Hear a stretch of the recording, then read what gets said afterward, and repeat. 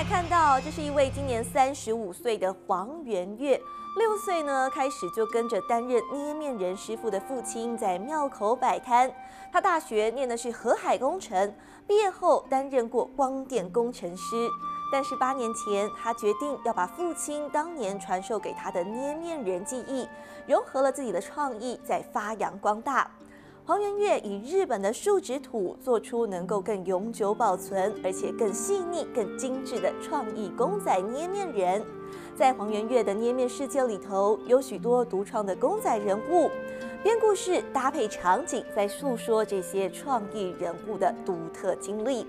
黄圆月的这项专业技艺，曾经受邀到法国和日本展出他的作品，而未来呢，他更打算要将这些公仔故事制作成手绘本，成为独创的台湾捏面艺术。小法它是一个捡到飞行帽的羊之后，它就是一个，他觉得这是上天给他的一个讯息，就他可能会是第一只会飞的羊，所以从此之后他就带着他的飞行帽，有的时候还会背着他的飞行背包，一直不断的去尝试怎么样去飞行。拿着手做捏面人，一边讲着自己编的虚拟故事情节。河海工程系毕业的黄元月，如今是专业的捏面职人。五六岁的时候，他就开始教我们做这个东西。出生在捏面人世家。六岁开始，他就跟着父亲在庙口摆摊赚零用钱。这东西是一个一技之长，那老人家的想法会比较传统，就说这是一技之长，你先学着，以后用得到就用，用不到没关系。所以那时候不是兴趣，那时候就是等于是父母说来这个东西要学，我们就把它学起来这样。小时候学捏面不是兴趣，反而是一种压力。因为那时候是要做很多的量出来，要贩售的。对对对，大概五六岁吧，印象中我记得我小学一年级的时候就已经在外面卖了。草莓是他最熟练的水果造型，因为草莓是最简单的，对，它就是一个小水滴形，然后上面再贴很多，就是红色的水滴形，然后打打点，然后这种斜点的话，点出来的效果就不一样。它有观赏角度，所以它不会是三百六十度的，它就是只有，就是只有。前面后面的部分我们就不做了，然后上面再贴很多水滴形的叶子，好，这样把它贴起来。印象中的童年，过年期间几乎都是帮着父母亲做生意，捏面人的技术成为黄元月无形的艺术资产。直到大学毕业，当了两年光电工程师，他才开始思索，小时候的这项技艺能不能成为自己的终身职业。做了两三年的工作之后，再回归到做这种手做的东西的时候，才慢慢的觉得说，这个东西其实是我应该是我这辈子要做的东西，才发才渐渐发才渐渐发展出兴趣来。否则一开始做东西，其实。小朋友的时候做东西做那工作做那个捏面人还蛮有压力的。八年前，黄月月开始发展自己独创的捏面公仔人物，就是想要与众不同。我爸爸跟我讲过一个概念，就是说，呃，常常看到的东西最难做，因为你要做的很像，很容易就会做的不像。人最常最常见，每天都要看到人，对啊，鬼鬼怪啊神像这种东西最好做，因为没有人看过。舍弃传统的捏面材质。他发现日本的树脂土可以让捏面人保存更久。接触了树脂土之后，就发现说，哎，我可以把我的东西永久的保留下来。然后之后就把它做，就是开始去做创一些比较难度比较高的创作。这样，我们一开始很不能适应，对。可是我们一直就强迫自己要去习惯这个东西，因为我们知道这样的东西是不会坏的，才是如果你要做一个要展览的，或者是要留到很久的东西。这东西才是唯一的方法。自小对美术有浓厚兴趣，黄圆月的公仔人物不用画笔勾勒出轮廓，因为所有的意象都在他的脑袋里不时运转。先在脑海里面先构思你做起来的形状会是怎么样，造型会是怎么样，拼凑起来，发现这样子还可以在你的脑海里看出来，这样子还蛮可爱的。好，啊就把它做起来。都没有图吗？没有，都没有图。正因为如此，黄圆月自嘲说。他是一个完全没有睡眠品质的人。我没有在纸上作业啊，唯一的缺点就是我的脑子里，我脑子几乎不会停哎，就是我没有所谓的脑袋休息的时间。我不会，我不晓得什么样叫做把脑袋放空，我没办法放空。我在睡觉的时候，脑子又一直转，一直转，然后转到累了它才停。有时候转到四五点，我如果当时突然有个灵感，我就会下来做了。斯文是八年前。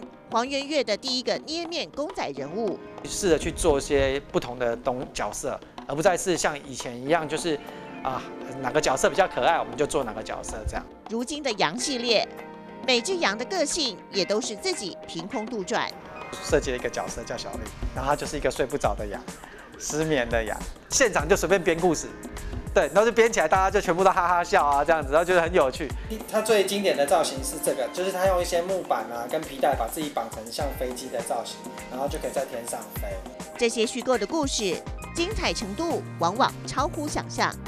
原来公仔再搭上故事啊，让它有生命力啊，是很吸引人的，也会让人家觉得说。它不单单就只是一个把玩的玩具，而是或者一个防尘塞，对，它是一个，它是一个一个精神。原本女性化的羊系列，应观众要求，开始加入了战争武器元素。杨老大他就是一个想要用武力去征服羊群的羊，所以他买了很多的武器。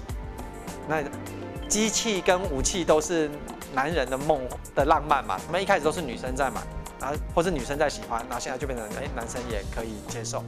善加利用简单工具，就能把捏面人推向精致化的殿堂。这个枪管非常的难做，它必须对对很复杂，它它得要先用用金属去去折出来，用我们那种铁丝去折，折好之后再上土，对，再再把它做起来啊，所以它的难度会比较高，比比整个羊本身都还难做，因为羊是圆形的。也因为顾客给他的回馈和意见。让捏捏人公仔的技艺和武功更高强。我觉得这真的是一个互动性的东西。我本来做起来是不会动的，好，都是固定的，是一个场景，一个故事的缩影。对，然后呢，客人就跟我讲说啊，他这样不会不会飞，好可惜，他竟然在飞。您看，让他会转。手机配件、钥匙圈，让捏面公仔功能更普罗大众化。而之所以能够有这么多源源不绝的创作内容，黄月月认为是父亲从小给他的扎实基础磨练。他教我的技巧有，可是其实最重要的，其实很多学了很多东西，最重要的是观念。他教我了一一些制作公仔的观念，对啊，所以我之后在做一些设计啊，做一些角色的制作的时候，其实我都是依靠着他的他的给我的一些观念去做啊，所以说就还蛮简单的。黄圆月的父亲黄新兵是捏面工艺家，最擅长三国人物塑造。面团在他手上，仿佛有着丰富的生命力和无限可能。人物动物信手拈来，好像在变魔术，总是让人看得目不转睛。老师傅坚持，好的东西要传承，也要孩子从小学习，才能成为自己的无形资产。我认为学东西是这样，它不占空间的，就在你的，就就学会的就是会，你以后用不用没有关系。其实我也我觉得现在的年轻人啊，那小朋友是多学点东西，我我发现那是好的。做那一面哈，你要如果你真的要讨生活的话，真是有点难，嗯，压力很大。压力很大。那最后呢，我就变一个方式，我说那这样的话，不然我们来传承做教学。黄圆月的手作技术和父亲的传统捏面走向有点不同，但由此传承，老师傅依旧非常欣慰。我很高兴啊，很好，很好，哎，因为这个不能强迫，真的，任何东西都要依着孩子的性向啊，他喜欢，那是最重要的。强迫是强迫不来的，他走的方向跟我有一点点不太一样，不过他的技术是纯熟的。高中时代，其实黄圆月就能把脑中的构图化为实体，在真实生活当中自然发生。看完《侏罗纪公园》之后，就发现很喜欢那个。雷克斯霸王龙嘛，所以就把它做起来，然后就想说要做出它的纹纹理，要做出的做的很细致这样。黄圆月的捏面公仔有现实有创意，受邀到法国和日本的展览会上，有他在的地方总是询问度最高。我喜欢的就坐下来，然后我就好像 bartender 一样，啊你想要什么我帮你捏，然后我教你做什么。我的客人说我想要做小狗，好，那我们这一群人都喜欢小狗，没有意义啊，就开始教。三个人就教，四个人就教，这样。他赋予捏面人新的角色和定位，虚拟的故事情节让手绘本的想法逐渐成型。我可能到最后要截录，可能就有六个角色或是七个角色，我现在正在筛选。然后呢，一方面角色的人物筛选，然后一方面把角色的造型设定确定了之后呢，接下来的进度就是要做场景。分享创意故事。